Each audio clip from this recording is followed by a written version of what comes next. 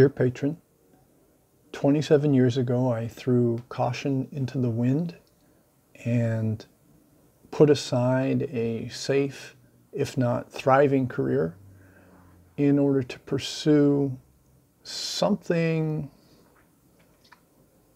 artistic, something that was drawing me into a whole set and a whole world of experiences towards the unknown.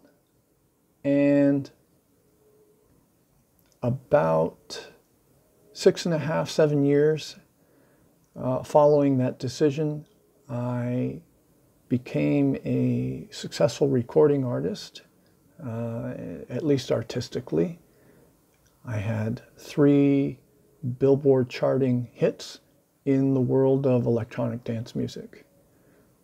And I achieved this with the help of an extraordinary music collaborator and with a psychological method of creating music that is undeniably effective.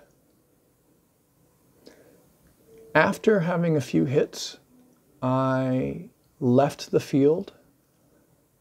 I got sober and I also pondered for about 20 years how to take what I learned, take this scientific approach to creating uh, and art directing musical ideas, and deploy what I had learned into something very kind and gentle and useful for humanity.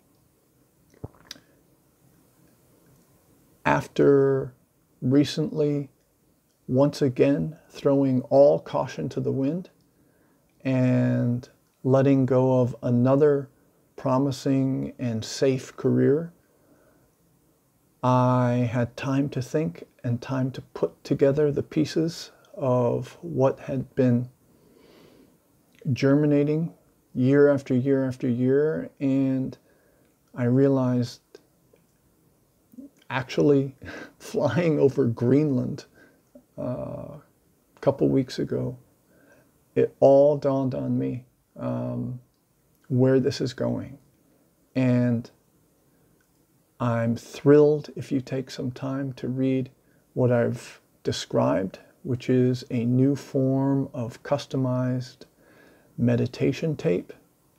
And I'll be even more thrilled to hear that you want to be one of my first clients to enjoy the benefits of what these customized meditations can do for you and for your loved ones. Thank you for listening.